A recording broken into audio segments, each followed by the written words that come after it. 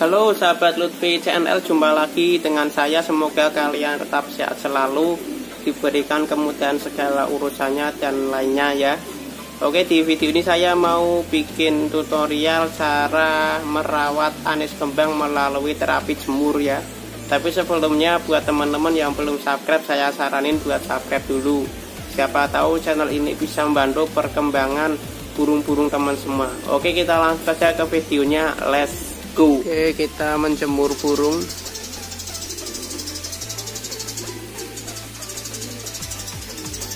Ini kenari. Ini anis kembang. Burung paling mahal. Gereja. Beranjangan yang sono anis Oke langsung aja kita ambil burung anisnya ya. Burung anis kembang sudah kita ambil. Untuk ringnya ini Novela ya. Ini bapaknya juara nasional Jabodetabek. Dan saya ngambil anaknya ini satu. Ini masih remaja banget baru belajar ngeplong-ngeplong belum begitu ngerol ya. Untuk jenis kelaminnya dia kelamin jantan. Sudah dipastikan melalui tes DNA nya ini kita jemur di jam 10 pagi. Sebenarnya menjemur burung itu penting banget. Kalau burung nggak dijemur nanti kurang sehat. Bunyinya nggak lantang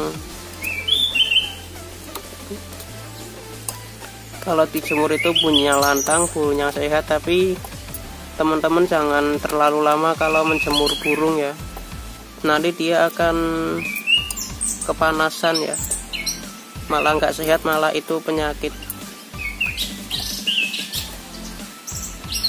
Untuk makanan kita kasih biasa atau pepaya. Habis ini kita kasih jangkrik cacing minuman nggak ada obat-obat atau ebot jos atau apa cukup minuman biasa.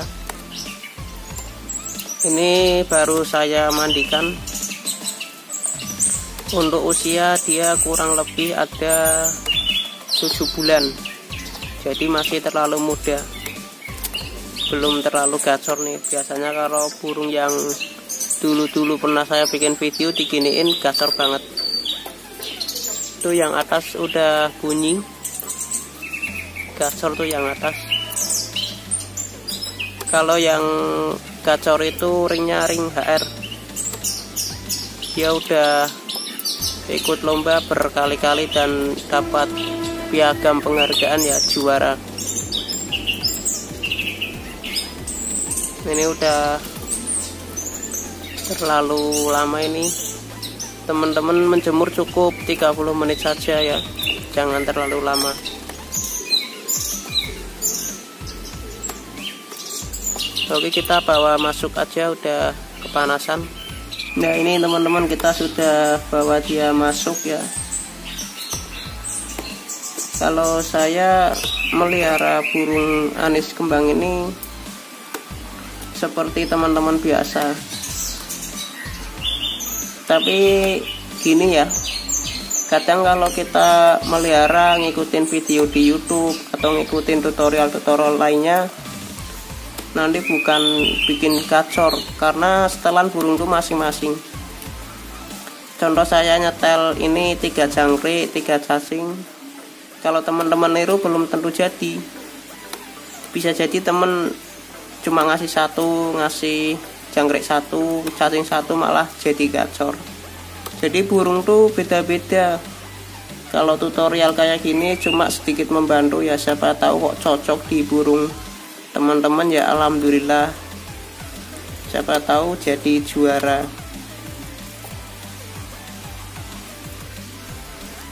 Yang saya suka dari anis kembang tuh dia kalau udah bunyi udah ngerol dia nggak mau berhenti.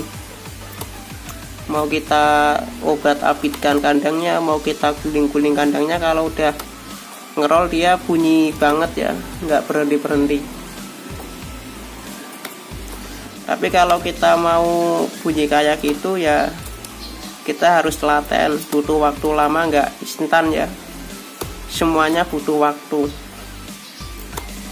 Nggak ada yang instan teman-teman. Bikin burung kayak gitu ya kurang lebih bisa satu tahun satu tahun setengah. Tergantung burungnya bagus atau enggak ya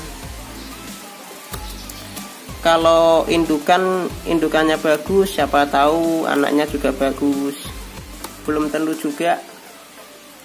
Indukannya pasar eh dapat anaknya malah juara. Kan nggak ngerti semua namanya juga kita usaha ya. Tebak-tebakan melihara burung tuh. Ada sih pengalaman dari teman saya nih yang burung ini burung novela ini. Ini kan anaknya ya. Ini ringnya novela JR kalau indukannya ini. Dulu si pemiliknya itu nggak pernah ngikutin lomba. Nggak pernah dikasih cangkrik nggak pernah dikasih cacing. Cuma pepaya sama pur doang.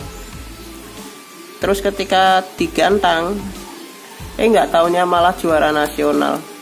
Kadang ada yang kayak gitu rezeki itu emang nggak bisa ditebak ya. Kadang kita yang melihara mati-matian ya beli segala macam kebutuhan burung dilombakan eh malah nggak juara. Yang penting tetap semangat teman-teman ya. Karena melihara burung itu kalau kita cuma setengah-setengah itu nggak bisa jadi kita harus tahu gimana maunya burung dia pengennya apa itu kita harus ngerti ya. Lah untuk mengerti dia kayak gitu itu butuh waktu lama. Oke segitu saja teman-teman videonya. Kalau teman-teman mau lihat piala-pialanya kita kasih videonya ya. Ini juara bob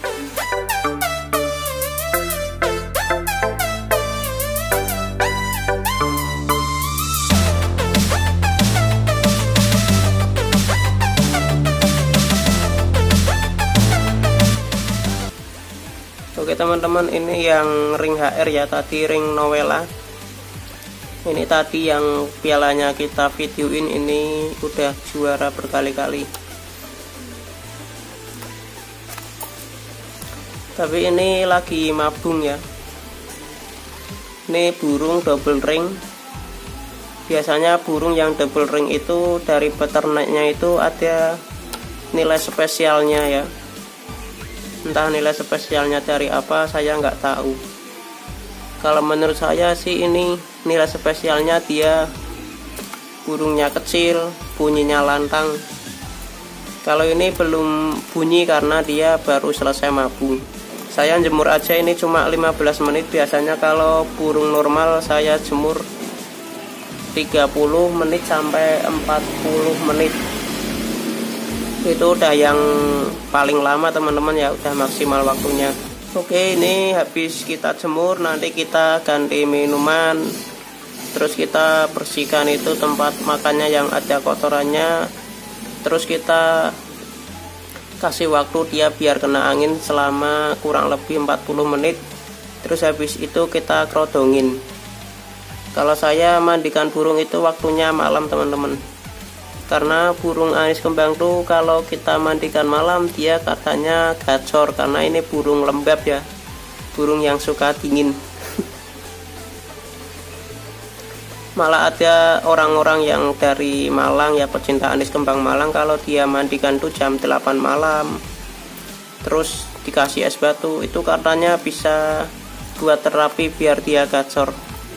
Kalau saya nggak kasih es batu cukup mandi malam saja sepatunya nggak ada ya. Ya segitu saja teman-teman ya videonya. Semoga bermanfaat ya.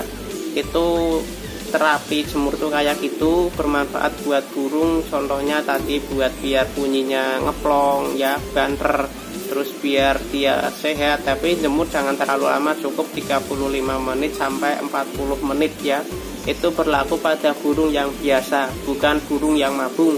Kalau burung yang mabung jangan dijemur saya sudah bikin tutorialnya merawat burung yang mabung bisa dilihat di video yang sini nih di atas ini. Nah itu ditekan saja. Nanti ada tutorialnya cara merawat burung anis kembang yang masih mah mabung. Oke sampai ketemu lagi. Salam satu hobi